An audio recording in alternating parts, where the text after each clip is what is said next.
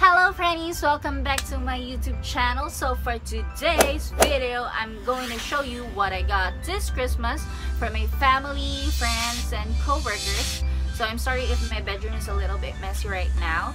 But going back, this is my way of saying thanks to all of the people who remembered me this Christmas season.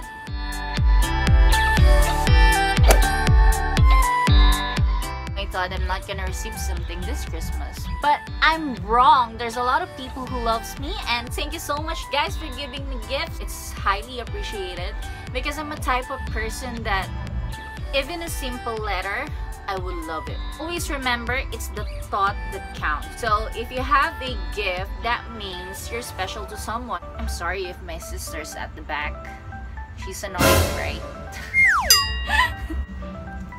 So let's begin. The first gift is this one. It's Elmo sling bag. So sa mga hindi po nakakaalam, I love sling bags. Um, it's my collection. So I really love collecting sling bags. Different kinds. Kahit na hindi ko masyadong nagagamit yung iba. I don't know. Gusto ko lang mag-collect. Ganun lang. So yun, thanks to my mom for giving me this cute sling bag. Thank you, Mama. Merry Christmas. Next gift. Ooh, this one. This is from my sister. Um, cute pink boots. Um, um, I think I'm gonna wear this, of course, pag nag-out of the country ako. Lagay siya sa aking maleta. It's pink. Thank you so much, sis. I love you so much. She's here at the back, by the way.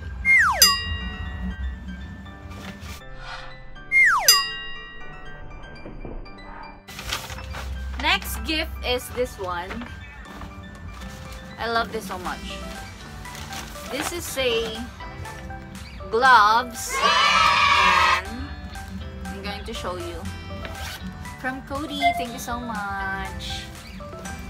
Because um, this year, I'm planning to enroll for a Wi-Fi class. Um, I'm still searching kung saan maganda. If you know um, gym na nag, nag meron silang Wi-Fi, um, please um, comment down below. Kasi I'm really looking for a gym na merong Wi-Fi. Kasi gusto ko na talaga mag-start. Gusto ko sana yung malapit lang kasi para ma-pursue ko ng bonggang-bongga. Kasi syempre pag malayo yung gym, parang tatamalin ka. So, yun. This is so cute. It's color pink. So, beware of me. Hi guys! Charot. Thank you so much, Cody, for this. Wow. I love it so much. And next, this chocolates, but you know, it's empty. Alam niyo naman ang chocolate sa akin, hindi tumatagal. Sobrang daming laman nito. Ayan, papakita ko sa inyo. Ayan. Ayan yung mga laman niya. Kaya lang, ubus na kasi siya. So, this is from my cousin, Angelica. Thank you so much. Kala ko nga nilalagnat siya. Eh. so, thank you so much, cuz. Kahit naubos na siya. Next is from Mom Beth. Ito, um, na, natuwa talaga ako pag open ko nung gift niya na to. Kasi, etong gift niya na to sa akin, titignan ko talaga to. Um, different brand yon sa Robinson's Galleria. Titignan ko talaga to. Pero iniisip ko kung bibilin ko kasi parang namam kuripot. Namamalan ako pagdating sa sarili ko, hindi ko alam eh. Mas gusto ko yung bibilin sa iba kaysa sa sarili ko.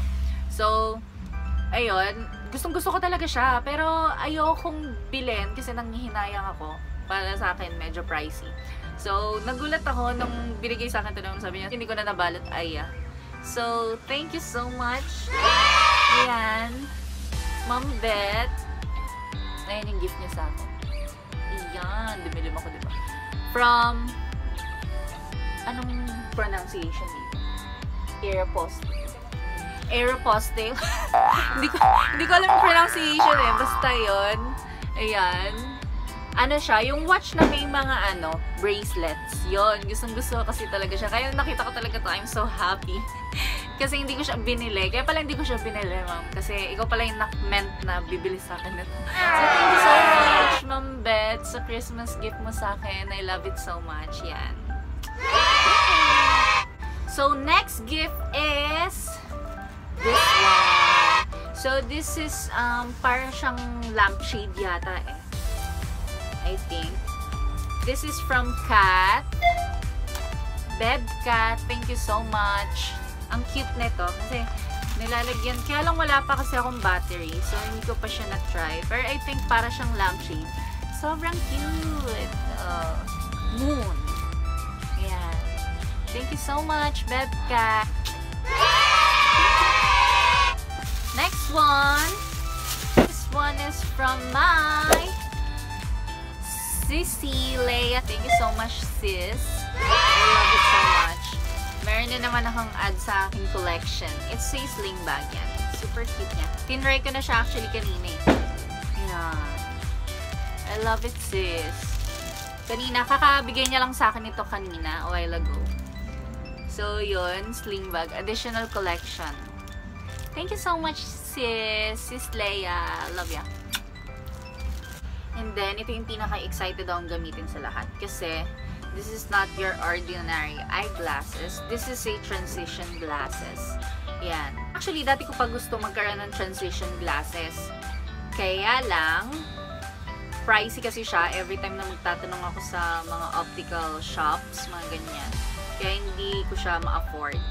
Pero syempre, with the help of Kuya Chody, yan, um, nakapagpa-transition lens ako uh, for a discounted price. Kasi um, sa mga hindi nakakaalam ng transition lenses, ito yung um, eyeglasses siya kapag indoor ka. Tapos, um, magiging ano siya, sunglasses pag nandun ka sa outdoors, pag nasa labas ka. So, yan.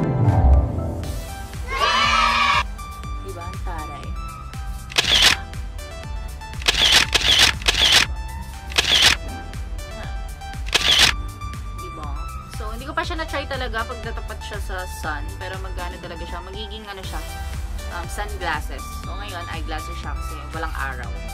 Thank you, Kuya Chody. Excited akong gamitin siya. And, bala ko din to i-vlog pag nagamit ko na. Bibigyan ko kayo ng review about transition glasses. Sa mga nagbabalak mag pa-transition ng kanilang uh, glasses. Kasi ako bilang mahilig din ako mag-beach. Yan yan. Kapag nagbe-beach kasi, di ba? Para diretso ano na, sunglasses. Di ba? Kasi malabo mata natin pero gusto kong enjoy yung mga beach, mga ganyan. Kailangan makita natin. Huwag tayo magbulag-bulagan. Char. So, that's it for tonight, friendies. So, sa lahat ng nagbigay sa akin ng gifts, thank you very, very much from the bottom of my heart. Naalala niyo ako this Christmas. And, sa mga hindi pa naman, pwede kayong humabol. So, later, 2020 na, mamayang midnight. Ang gusto ko lang din kayong batiin, friendies, ng Merry Christmas. Ayan, nagtotorotot na sila. Merry Christmas and Happy New Year! Sabay-sabay natin sa lubungin ng 2020 ng happy! Friends, if you like this video, please give it a thumbs up. Don't forget to share and subscribe dyan sa baba. And click also the notification bell para updated ka for more upcoming vlogs. So thank you for watching, friends. Till my next vlog. Bye! We wish you a Merry Christmas and a Happy